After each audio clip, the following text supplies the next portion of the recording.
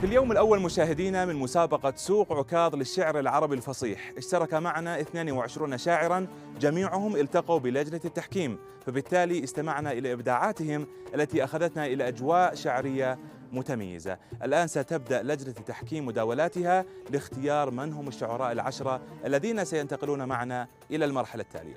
السؤال يا ترى من هم؟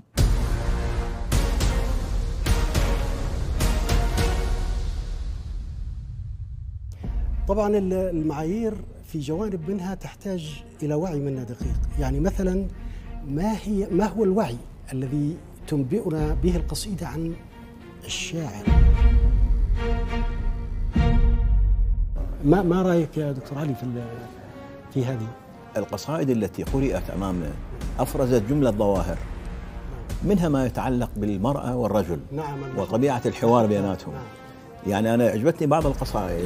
شعر المرأة هو اللي أثار هذا السؤال أثر هذا نعم. صحيح. كذلك أنا أثارني موضوع اللي هو مشترك تقريبا بين عدد من القصائد كما لاحظتم من ناحية الموضوع.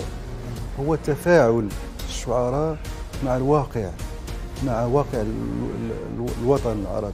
كامل واقع يعني تفاعل آه، له رؤية شعرية عميقة. في ملاحظة في ملاحظة برزت من خلال القصائد التي قرأت آه، كل القصائد التي قرأت وربما إذا لم تكن يعني كلها أو معظمها نعم. على الأقل قصائد عمودية. لكنها حديثة في رؤياها.